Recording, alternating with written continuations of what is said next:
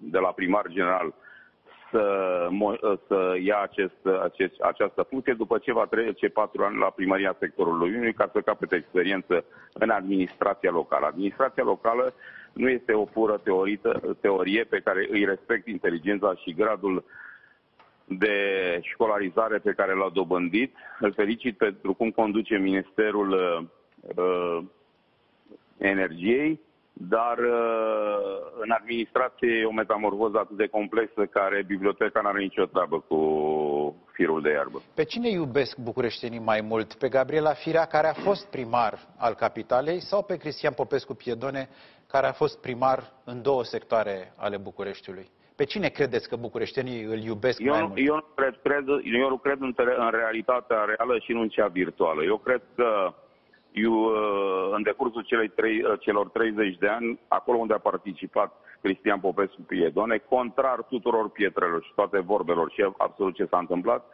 uh, a ieșit de fiecare de învingător într-o părătărie electorală. Nu, bucureștenii nu cred în învinși, cred decât în uh-huh. învingători. Uh-huh. Ați subliniat asta odată, într-un interviu, ați spus că, din păcate, pentru Gabriela Firea a pierdut în fața lui Nicu Șordan.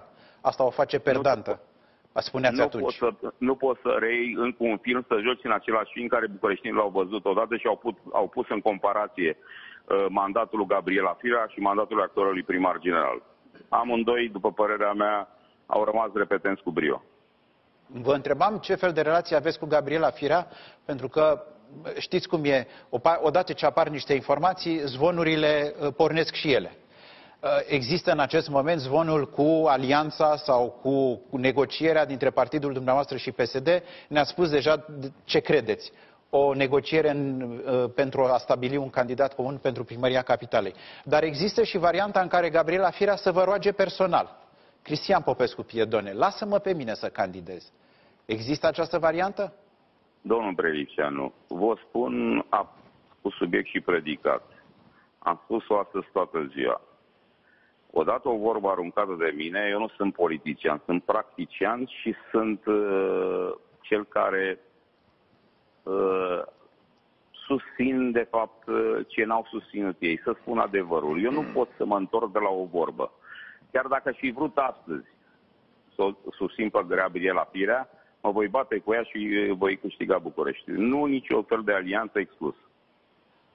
Aș vrea să vă întreb eu un lucru, domnule Piedone. Uh, pe lista de europarlamentare PSD-PNL, partidul dumneavoastră are candidați? Momentan s-a clarificat uh, ce se întâmplă cu capitala. La europarlamentare uh, am înțeles și este un lucru foarte bun dacă au rămas uniți să candideze împreună, că trebuie să spunem stop uh, extremismului sau, uh, uh, sau, cum se numește, extremismului și uh, nu naționalismului, uite, domnule, ce lapsus am. Populismului, populismului. Nu populismului, uh, suveranismului.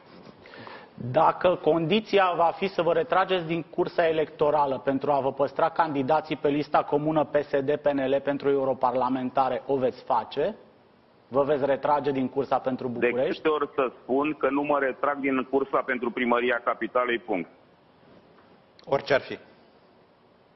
V-am spus că nu mă voi retrage indiferent indiferent, sunt președintele astăzi a partidului. Știți foarte bine și cine este președintele fondator. Orice s-ar spune și orice presiune ar face, merg până la capăt. Nu mă întorc înapoi. Orice presiune ar face cine, domnule Piedone? Pseudo-visurile noastre a tuturor. Puteți să ne mai spuneți un lucru, pentru că s-a speculat foarte mult în ultimele zile. Dumneavoastră ați discutat și cu PNL și cu PSD, cu liderii celor două partide, să fiți candidatul unic. Uh, în momentul în care se căuta un candidat din afara celor două partide. Ne puteți spune dacă a existat o astfel de discuție și cine s-a opus ca dumneavoastră să fiți acest candidat? Eu, Cristian Popescu, vă spun cu toată responsabilitatea și am termenit cuvântului responsabilitate. Nu m-am dus, nu m-am rugat, am făcut o ofertă celor două partide să aibă un candidat unic și acela să fiu eu, printr-o alianță cu Partidul Umanist Social Liberal. Și asta s-a făcut printr-o adresă scrisă din partea partidului, către ambele partide, domnului președinte Ciucă, domnului președinte Ciolacu. Nu am bătut la ușa nimănui. Răspunsurile au venit uh, nu pe surse, le-am văzut uh, până astăzi. De aici, de astăzi încolo, scapă cine poate. Adică răspunsul e, spuneți dumneavoastră, nu, pentru că astăzi se discută despre altă variantă. Am înțeles bine?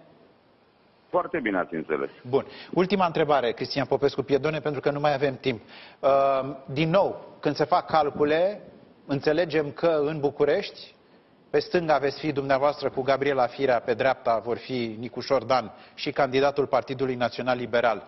PSD, ni se spune din nou, nu a reușit niciodată stânga să strângă suficient de mulți uh, alegători pentru ca acest candidat de stânga să-l bată pe un candidat redutabil de dreapta. Cum o să se Domnul canibalizeze cei din dreapta, vom vedea. Spuneți-ne, în cazul alegătorilor de stânga, vă rog. Domnul președinte, stimați invitați, piedonii și pe stânga și pe dreapta și în sensul giratoriu. Uh, Piedonia de, de la toți și de la toată lumea. Noi vorbim despre omul. Când veți spune stânga sau dreapta, într-adevăr voi avea o problemă ca primar general cu Consiliul, care nu va, nu va aparține, cu siguranță. Nu, se va, nu va rezulta numărul votanților mei ca primar și ca persoană, numărul votanților mei ca partid. Dar voi băga în Consiliul General, dar nu cât să am majoritatea. Asta e cu altă discuție, să ne vedem acolo și pe urmă vom discuta și probleme politice. Mulțumesc, Cristian.